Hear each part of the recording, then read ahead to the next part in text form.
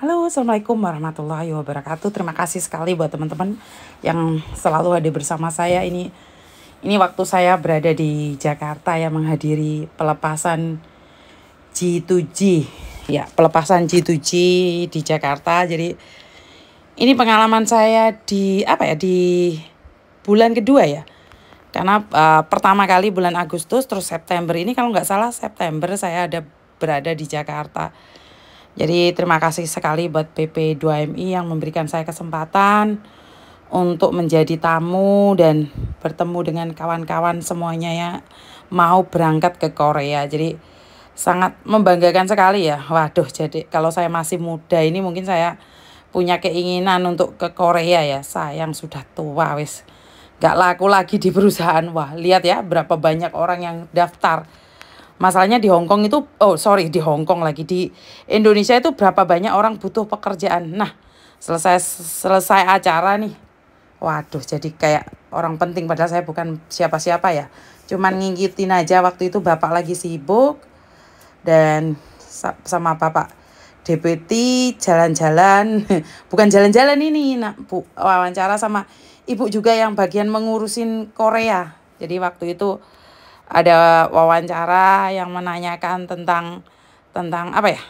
Tentang apa G2G? Lah saya sendiri juga bingung karena saya bukan mengurusi G2G akhirnya mereka nggak jadi nanyain saya, mereka akhirnya nanyain tentang keadaan Hong Kong seperti apa, bagaimana dan saya ceritakan lagi menurut versi saya. Jadi sekali lagi mungkin tidak sesuai dengan harapan kalian semua jawaban saya, tapi apa yang saya sampaikan adalah sesuai dengan apa dan pengalaman saya. Jadi buat teman-teman semua, terima kasih sekali yang selalu mendukung saya sampai akhirnya saya ada di sini ini karena doa kalian semua.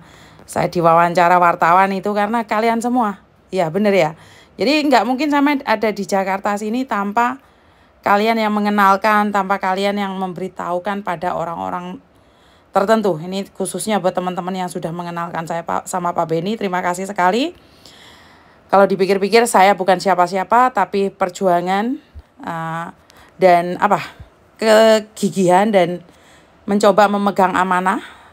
Semoga saya tetap amanah menyampaikan inspirasi. Waduh, menyampaikan inspirasi. Nggak tahu deh pokoknya saya akan berjuang semampu saya, sebisa saya, sekuat saya dan terima kasih sekali dukungannya buat teman-teman yang selalu berdoa atas kehidupan saya. Terima kasih.